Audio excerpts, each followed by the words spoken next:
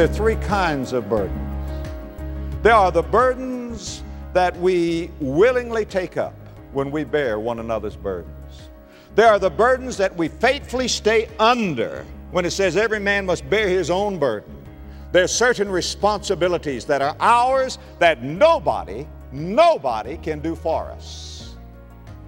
But then, listen, precious friend, there's one more burden, and that's the burden that we gladly lay down.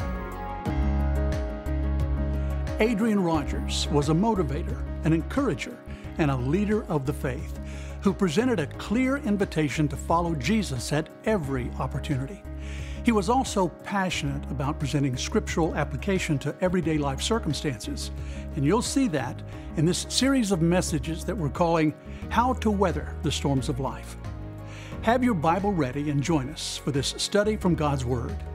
Before we begin, remember, you can follow along with Pastor Rogers' outline, notes, a transcript, and other resources related to today's message, all at lwf.org.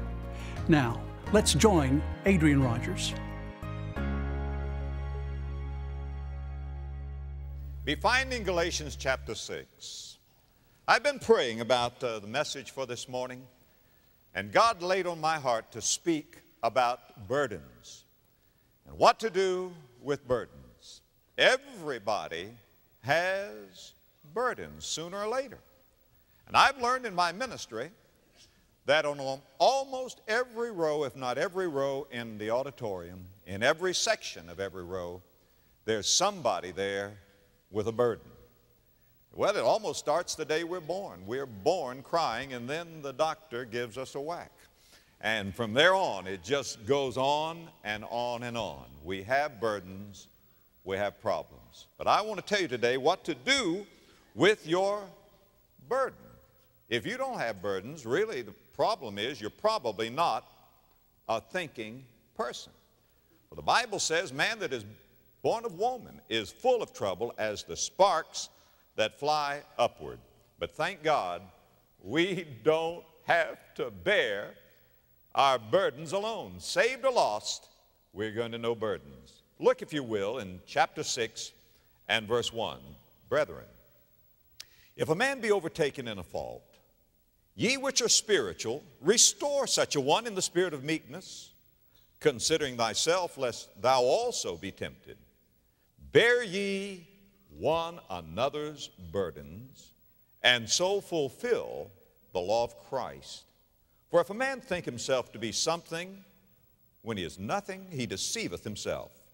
But let every man prove his own work, and then shall he have rejoicing in himself alone and not in another. For every man shall bear his own burden. Now, there are three kinds of burdens I want to talk to you about today, and I want you to listen very carefully. There are burdens that we willingly take up. There are burdens that we faithfully endure, and then there are burdens that we wisely lay down. I want you to think about those three kinds of burdens this morning. First of all, there's certain burdens that you're not to try to escape. As a matter of fact, there are burdens that you are to take up. And what are those burdens?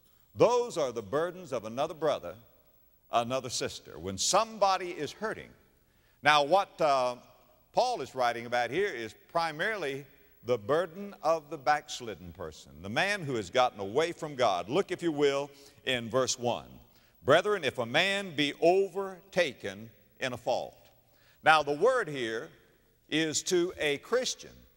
Brethren, if a man be overtaken in a fault. He is talking about somebody who is our brother, somebody who is our sister. Somebody who's gotten away from God and somebody who needs to be restored. Now, notice the word restore. He's saying, here's a person who was once in fellowship, and now that person has gotten out of fellowship. Why? Because he's been overtaken in a fault. Now, this is not the person who is not saved, it's not the person who uh, is running to sin. Actually, here's a person who was endeavoring to get away from sin. But sin overtook him. Somewhere years ago, I read that in Africa, uh, Each morning in Africa, a gazelle wakes up, and that gazelle says to himself, If I cannot outrun the fastest lion on these plains, I will be devoured. And somewhere that same morning, a lion wakes up, and that lion says, If I cannot outrun the slowest gazelle, I will starve. And so both the gazelle and the lion wake up running. Now, folks, every morning you and I need to wake up running because we are running from sin and Satan is running for us. And sometimes we're overtaken. Sometimes we stumble and fall. You see, uh, when you get saved, that doesn't mean you can't sin anymore. Say amen. You know that to be true. When you get saved, it doesn't mean that you cannot sin anymore. Sometimes we're overtaken in a fault. You know the difference between my life before I was saved and after I was saved? Before I got saved, I was running to sin. Now I'm running from sin but we can sometimes stumble and fall. So he's talking about brothers. He says, if a man be a brother, brethren, if a man be overtaken in a fault, that is, run down by Satan, trapped and snared by a fault, then we are to restore him. I want you right now, everybody in this building, I want you to begin to think can you think of somebody who was once a faithful member of Bellevue who doesn't attend anymore? Not that they've moved away, can you think of somebody that you used to have sweet fellowship with, maybe a soul winning partner, maybe a prayer partner, somebody that maybe you sang in the choir with, somebody that maybe you served on a committee with, and they truly, so far as you know, knew the Lord Jesus Christ as personal Lord and Savior and know Him today, but they're out of fellowship? This church is filled with them, and so is every church. They are brothers, they are sisters, who are out of fellowship with God. And God has called upon us to restore these people because they're living a life that the, uh, the Apostle Paul calls a burden life. They are broken-hearted. Now, the scripture today that I'm reading is hope for that kind of a person. If you're that kind of a person, away from God, yet in your heart of hearts you've been saved, you know the Lord, you're a brother, you're a sister, this message is a word of hope for you. And uh, if you have not been overtaken in a fault, thank God for it, but this message is a word of warning for you. And it's a word of a call to action for all of us. Now, a brother can be restored. That's good news if you've gotten away from God. Our God is a God of a second chance. If you read the Bible, the Bible tells about men who got away from God and who got back to God because the Bible does not mistake the moment for the man. And the Bible is a picture of people who've gotten away from God and yet have gotten back to God. There was Jonah. Now, we criticize Jonah for running from the Lord, but the Bible says the word of the Lord came unto Jonah, saying, Does God speak to you that intimately? Jonah must have been a great man, that he was in such contact with God, he could hear the word of the Lord, he was such a, an instrument that God wanted to use him. And yet, Jonah got away from the Lord, you remember? Spent the night on a foam blubber mattress. You remember the story. Swallowed by a whale. But yet, Jonah came back to God, and Jonah was used of God to bring an entire city about the size of Memphis, Tennessee, or bigger, Nineveh, to Jesus Christ, to repentance toward faith. I remember reading in the Bible about uh, Simon Peter, the big fisherman. He loved God. He was the one who said to Jesus, Thou art the Christ, the Son of the living God. Yet uh, Simon Peter cursed and swore and denied the Lord Jesus. I imagine the critics that day had a field day. They said, Oh, Reverend Simon Peter, did you hear what he did? He cursed in front of a teenage girl. I never did have much confidence in uh, Reverend Simon Peter. I'm finished with him. I'm glad God wasn't finished with him because that same Simon Peter who stumbled and crumbled, and when the rock turned to sand, God made him a rock again, and he became the flaming apostle of Pentecost. There was a, a, man who wrote a book in the Bible called the Gospel of Mark. You have the Gospel of Mark. That man's name was John Mark. He was a young man. He started out with Paul and Silas on a missionary journey. He must have been a remarkable young man for the great apostle Paul to say, John, come and go with us on this missionary journey. But on the missionary journey, John Mark got frightened, he got homesick, he got discouraged, and he went back home And the Apostle Paul lost confidence in John Mark. When they got ready to go on another missionary journey, somebody said, Let's take Mark with us. And Paul said, No, sirree, we're not going to take him. He's a failure, he's a quitter, he's a slacker, he's a shirker. He's not going. Old Barnabas said, Well, I'll take him with me. And do you know what? God restored John Mark. Later on, John Mark wrote the Gospel of Mark.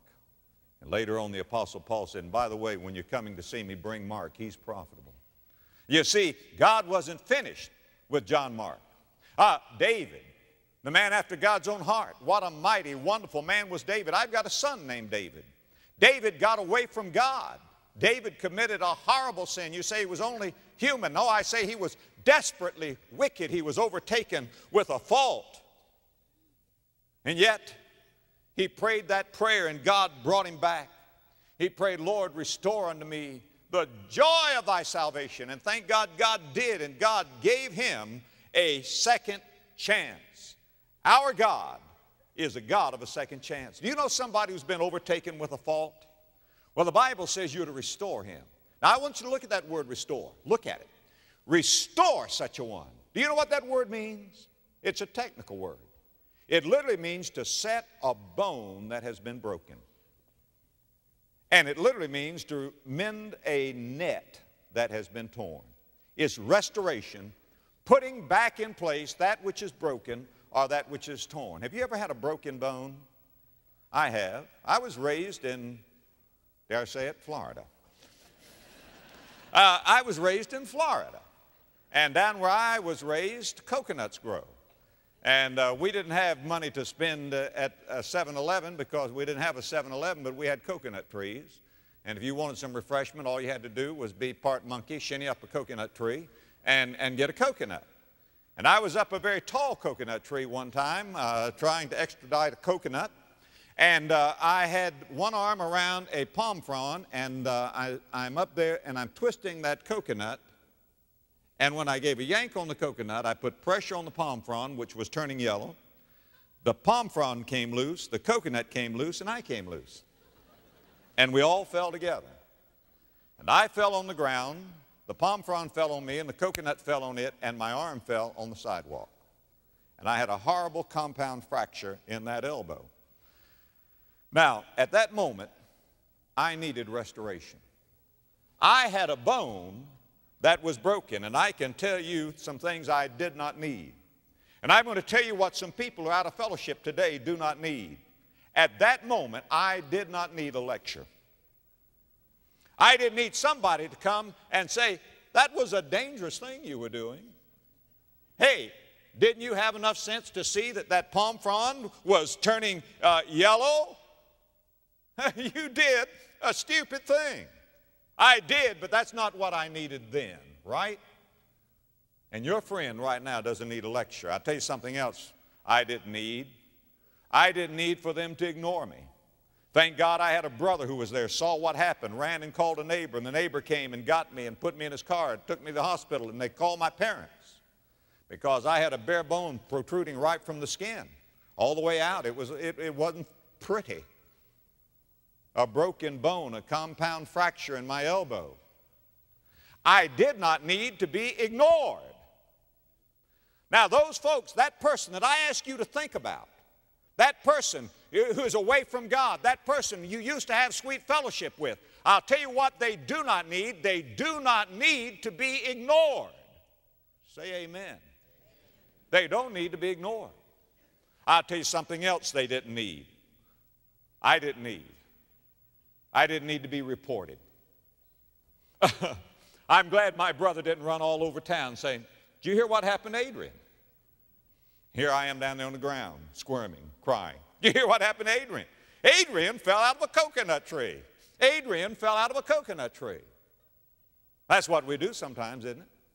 A brother, a sister falls away, and rather than going to love that person, to restore that person, to bring that person back to sweet fellowship, what do we do? We just go around talking about them. And sometimes our little prayer sessions are nothing but gossip sessions under the guise of being prayer sessions, praying for sister so and so, praying for brother so and so. I'll tell you another thing I'm glad they didn't do when I broke my arm. I'm glad they didn't shoot me. Well, he's got a broken arm. Blam! We fixed it. Somebody said that the church is the only army in the world that shoots its wounded. But sometimes we do that. I mean, here's a person with a, a broken bone. They didn't, uh, they didn't uh, shoot me. I'll tell you something else I'm glad they didn't do. I'm glad they didn't amputate that arm because I need that arm so I can point at you. I need that arm. God gave me that arm.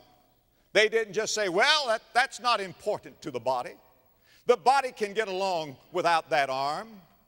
It would never be the body that it could have been with that arm is right there. They did not shoot me. They did not amputate the arm. What they did, they put in place a broken bone. They restored it. And that's what uh, the Apostle Paul said that we are to do. You, you know, listen, folks, there was one thing I could not do when I broke that arm, and that was ignore it. Do you know why I couldn't ignore it? Why? Because the rest of my body said, don't ignore it. You see, the Bible says when one member suffers, every member suffers with it. That's the way God made us. We need to be as, spirit, as sensitive spiritually as we are physically. Uh, what do we do when a brother fails? Do we say it's none of my business? Folks, it is your business. He is in the body. Do you condemn him? Then you're condemning yourself. He's a part of you. Christians have a way of crucifying living saints, worshiping dead saints, and shooting wounded saints. What do we do when we have a brother who is wounded, a sister who's wounded? Do we report him to the church? You'd be amazed how many people will say to me, Pastor, I am so burdened about thus and such a person. God has laid him on my heart. Will you go see him? Now you think about that. I am so burdened. God has laid him on my heart. Will you please go see him? Well, if it is so strategic, so necessary, yes, if I can, I will. But why do you think God laid him on your heart? Why do you think God put him on your heart? Because, friend, you are the one that has that relationship. You're the one that God is burdening, and you're the one that God wants to go.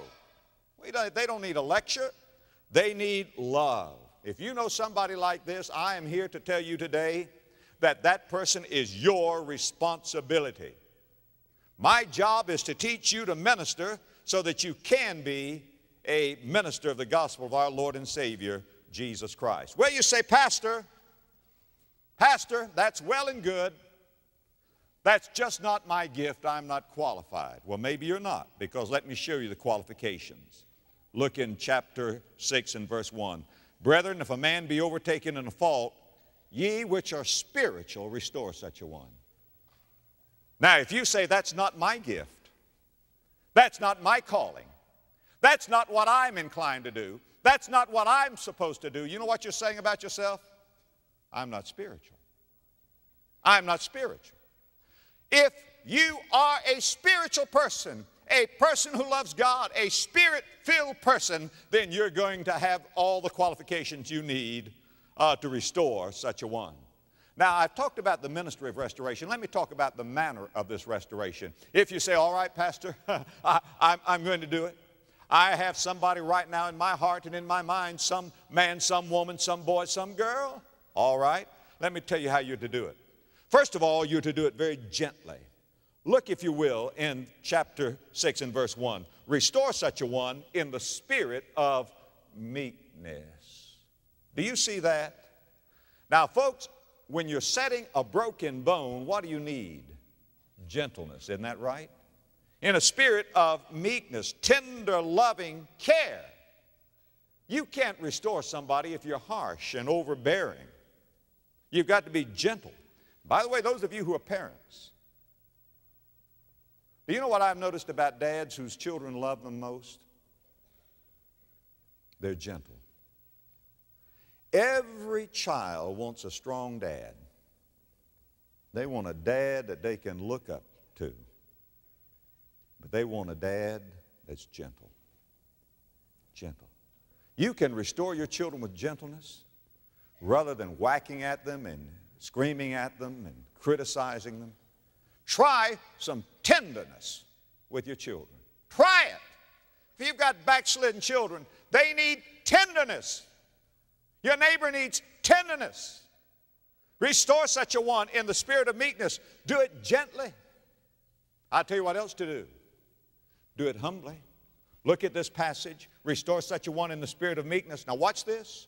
Considering thyself, lest thou also be tempted. You say, Not me. Friend, there are three persons in your seat this morning the person you are now, the person you could be for holiness and good in God, and the person you could be for debauchery and wickedness if you take your eyes off of Jesus Christ. You say, Well, it uh, won't happen to me. Well, I want to ask you a question. Happened to Jonah, are you better than Jonah? Happened to Elijah, are you better than Elijah? Happened to Simon Peter, are you better than Simon Peter? It happened to John Mark, are you better than John Mark? No, the Bible says, Let him that thinketh he standeth do what? Take heed lest he fall.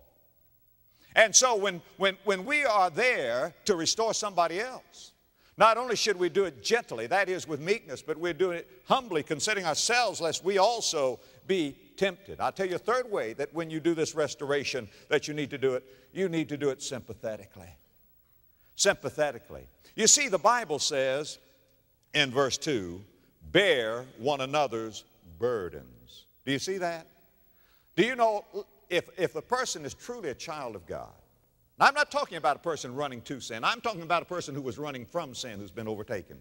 If he is truly a child of God, you can put it down big, plain, and straight. If that person is truly saved, truly born again, and is out of fellowship with God, I can tell you he's carrying a big burden. Now, if he's not saved, he's not carrying any burden at all.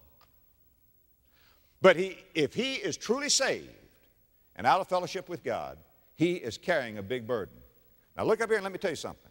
The most miserable man on earth is not an unsaved man.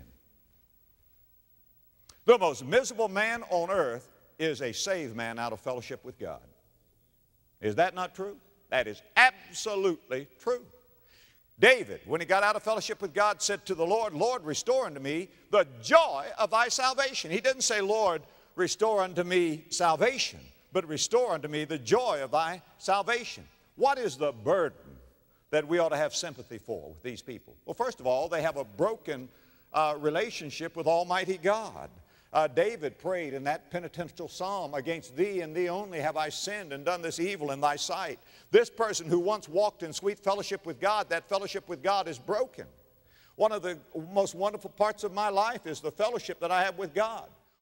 Just the fellowship with Him, to be able to sing it and say it. I come to the garden alone when the dew is still on the roses, and the voice I hear falling on my ear. The Son of God discloses. He walks with me, He talks with me, He tells me I'm His own. That person who's gotten away from God, that person who's backslid, that person who's been overtaken with a fault, he has a burden because that relationship with God has been broken. I'll tell you what else. He has a guilty conscience. David prayed in Psalm 32, verse 4 For day and night thy hand was heavy upon me. My moistures turned into the drought, drought of summer. That is where he used to be spiritually uh, uh, full of, of joy. Now he's dry as dust. And then there's the satanic accusation that comes to a person. You know what the devil does to a person who gets away from God? The devil becomes his accuser. Before that person sins, the devil says, Go ahead and do it. You can get away with it.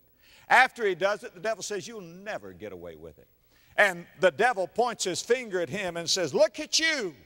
You call yourself a Christian. You call yourself a member of Bellevue. You're not fit to live. You have, those people have lost all confidence in you. There's no way back for you. You'd be better off dead.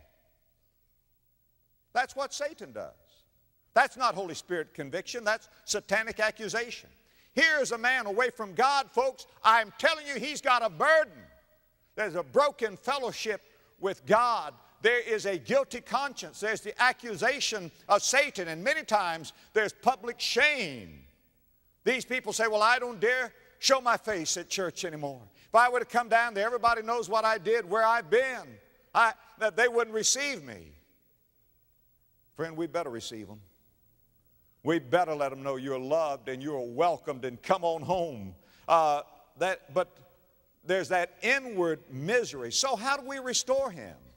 Well, re- we restore him gently in meekness. We restore him humbly, considering ourselves. We restore him sympathetically. He is carrying a burden.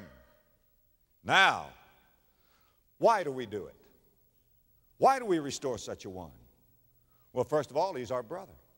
Notice how this begins. Brethren, if a man be overtaken in a fault, ye which are spiritual, restore such a one. Not only is he our brother, but we're members of the same body. When my arm was broken, what hurt? My arm? No, I hurt.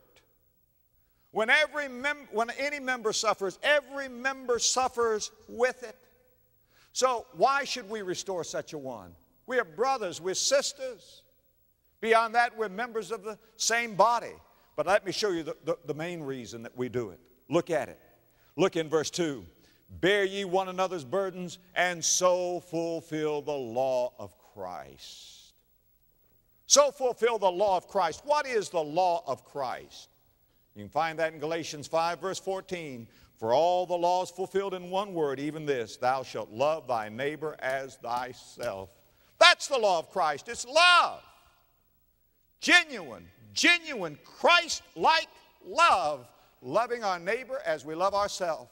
Look at that fallen individual, that person who's burdened, and understand that you are to love him as you would want somebody to love you if you were in the same situation. And by the way, only a spiritual person can do that, for the Bible says the love of God is shed abroad in our hearts by the Holy Ghost. Yes, it may be firm love. Yes, even though it's gentle, it may be firmness. But love says we'll go to those who have fallen. Love says we will go humbly. Love says, if possible, we will go privately, we will go prayerfully, and we will restore him, and we will fulfill the law of Christ. Why don't you right now ask God to lay somebody on your heart? Why don't you say, God, this week I will do that? And if you're that person, maybe you're watching on television, maybe you're in this auditorium, maybe you'll hear later by tape. If you're that person who's gotten away from God, I want to tell you, you can be restored. You can come on home. And don't let that failure make you bitter. Let it make you better. You may have failed, but it's not all over. You may have lost the game, but there's still a season out there. Now, listen there's another motive. What are the motives we're talking about? He's our brother. We're in the same body. There's the law of Christ. There's another motive. Remember that I told you that the word restore has a twofold meaning? It has the meaning of mending a broken bone, it has also the, uh, the uh, meaning of mending a broken net. Do you know what God has put us together to be? A network. You know, when Jesus called his disciples, what were they doing? They were mending the nets. And he says, You come after me, I'll make you become fishers of men. Do you know what a, what a broken brother is? A broken sister? He or she is a hole in the net. They're a hole in the net. Did you know that there are people we can't win to Jesus here at Bellevue because of some brother, some sister who's backslidden? And maybe they live right up next to somebody that we're witnessing to, and and they've seen that person away from God. And because they've seen that person away from God and seen their lifestyle, they have no confidence in the ministry of this church. Did you know if people would start living right on Monday, people would believe what I preach on Sunday? Did you know that? But uh, you see, the greatest testimony for Jesus and the greatest testimony against Jesus is the life of a Christian. Isn't that right? The greatest testimony for Jesus the greatest testimony against Jesus is the life of a Christian. Uh, the Bible calls us living epistles. How is the gospel according to you? Now we've got to patch the holes in the net. If all of our members were right with God, what an awesome net this would be to bring souls to Jesus Christ. But they, they, the fish go through the hole in the net. And so that's another motive for restoring these individuals. I must rush on. There are the burdens. There are the burdens, dear friend, that we, we willingly take up. where we bear somebody else's burden. Are you willing to do that? The Bible says, bear one another's burdens. Now, there's another kind of a burden.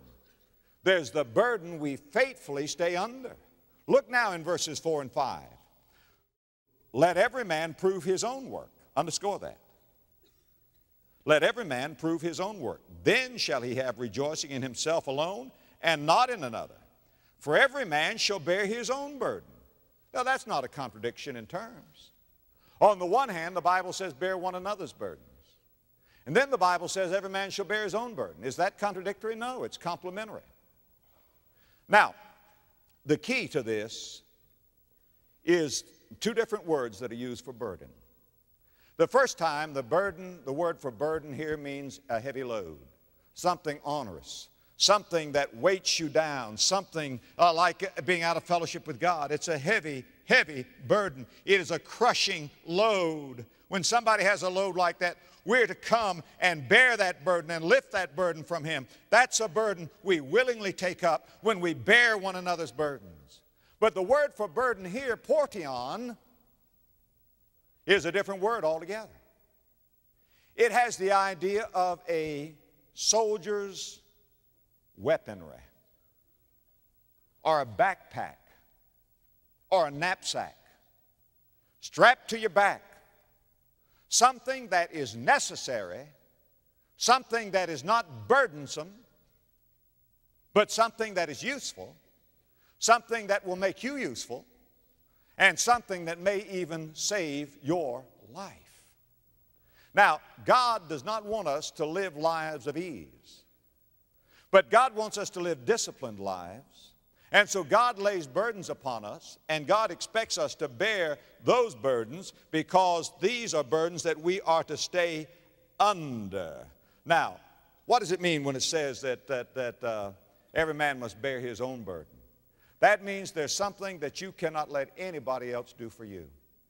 There's something that you cannot relegate or delegate to anybody else. Well, what are some of those things? Well, nobody can repent for you. Isn't that right? Nobody can trust Christ for you. Nobody can love God for you. There are parents in this building who would give the last ounce of blood in their veins if they could repent of sin for their children. But they can't do it. Every man must bear his own burden. I wish sometimes when I preach I could go out there, sit in your seat, come forward, and give my heart to Jesus on your behalf, but I cannot. There are certain things that are our responsibilities and will become our blessings if we will take them. There's no such thing as proxy religion. Now, I'll tell you, one of the burdens that we need to take up and bear is the willingness to relieve a brother to bear his burden. You see, a, a fallen or a broken brother is not a call to gossip, it's a call to prayer. That's a prayer burden. Nobody can take that for you. I must rush on because if I don't, I won't get finished. I want to come to the last thing. Because, you see, I said there are three kinds of burdens. There are the burdens that we willingly take up when we bear one another's burdens. There are the burdens that we faithfully stay under when it says every man must bear his own burden. There are certain responsibilities that are ours that nobody, nobody can do for us. But then, listen, precious friend, there's one more burden, and that's the burden that we gladly lay down. The burden that we willingly take up, the burden that we faithfully stay under, but there's a third burden. And that's the burden that we gladly lay down. Put in your margin Psalm 55 and verse 22. Cast thy burden upon the Lord, and he shall sustain thee. Cast thy burden upon the Lord, and he shall sustain thee. He shall never suffer the righteous to be moved. Do you know who wrote that? King David. who'd had his burden lifted when he was restored to God, but he had other burdens.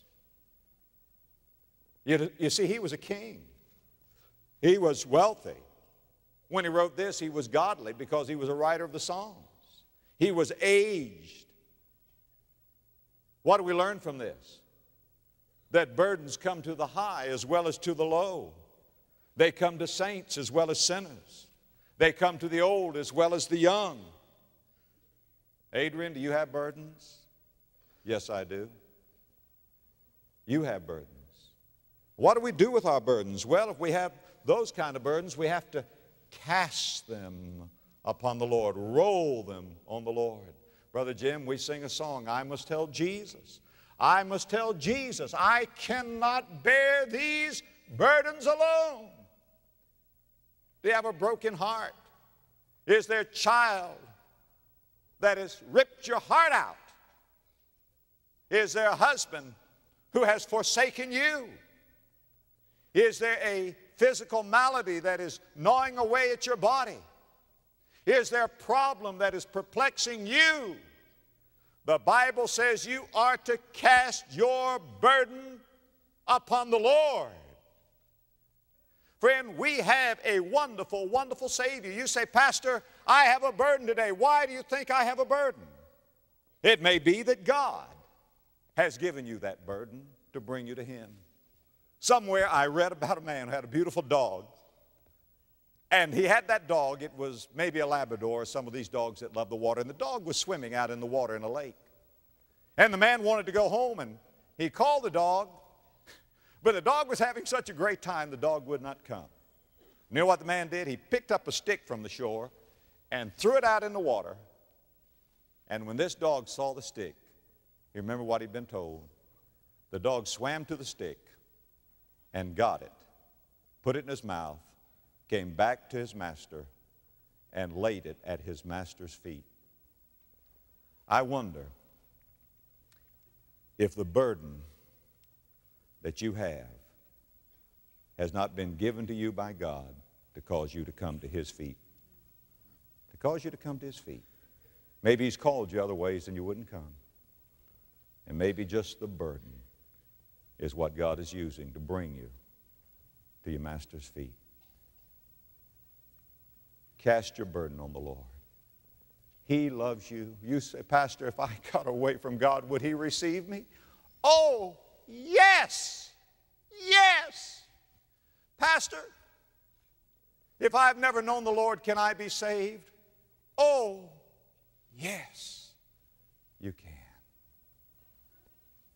Come to Jesus. Father, bless the message and seal it to our hearts. And now, while heads are bowed and eyes are closed, ask God one more time to lay on your heart a brother or sister who's broken, who needs to be mended. While heads are bowed and eyes are closed, if you have a special burden, roll it on the Lord. He may not. He may not lift the burden. He may not solve the problem. But the Bible says, cast your burden upon the Lord. He will sustain you. he will. He will see you through. He will. Cast it on Him. And if you want to be saved, let me invite you to pray a prayer like this. Just pray it right now out of your heart. Dear God, just pray it out of your heart. Dear God, I know that you love me. I know that you want to save me right now, like a child. I open my heart. I receive Jesus Christ who died for me, who paid for my sin with his blood on the cross. I receive him now, this moment, as my Lord and Savior. Lord Jesus, because I trust you to save me, I'll not be ashamed of you. I'll make it public. Give me the courage to come this morning and confess you as my Lord and Savior. Help me never to be ashamed of you. In your name I pray. Amen. One more word, dear friend. If you have prayed with us to receive Jesus Christ as your personal Lord and Savior, would you let us know? We will rejoice and we'll send you some literature to help you get started in your Christian life. We'll send it to you absolutely free because you've received Christ as your Savior. We hope that today's message has been an encouragement to you, and if so, you can stream this message again, as well as other messages from this series, and download other resources related to this message, all at lwf.org or the MyLWF app. While you're there, be sure to check out our new Bible studies on this series, as well as many other topics. At lwf.org, you can also subscribe to our daily Heartbeat email. Each heartbeat contains a devotional message from Adrian Rogers a 90 second inspirational audio clip, also from Adrian Rogers, as well as a link to our daily radio program, all in one place delivered directly to your computer or mobile device each day. And if you're looking for some inspiration or encouragement to get you through the week, be sure to check us out on social media at LWF Ministries. And don't forget you can catch up with our program each week on our Facebook page or YouTube channel, or on the My LWF app. Thanks for joining us for today's message. We'll see you next time.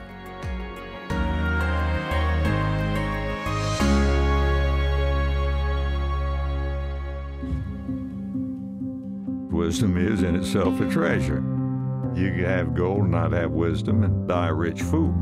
But if you have wisdom, you are wealthy because you're able to see life from God's point of view. See life from God's point of view with God's Hidden Treasures, a book of inspirational and devotional thoughts from Adrian Rogers. With brevity and lighthearted warmth, Adrian Rogers guides readers toward faith, wisdom, peace, and joy. For your gift of any amount, we'd love to send you God's Hidden Treasures. Call us at 1 800 647 9400 or give online at lwf.org. God's abundance awaits to be discovered.